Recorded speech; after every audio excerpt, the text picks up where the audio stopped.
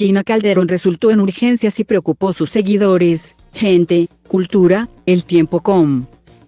Y de igual a página 747.305 M528, 527, 529 Es normal que la DJ y empresaria Gina Calderón sea tendencia en las redes sociales y que frecuentemente se vea envuelta en polémicas, sin embargo, se dirigía a una entrevista pero sufrió un incidente médico y tuvo que acudir a los servicios de urgencias.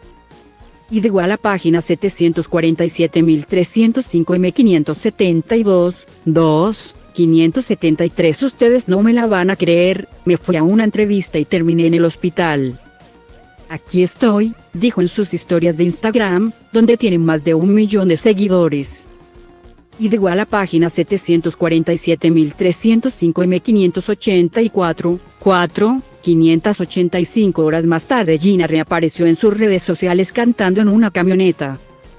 Por lo que se presume que se encuentra bien y su visita al hospital no fue un tema de gravedad.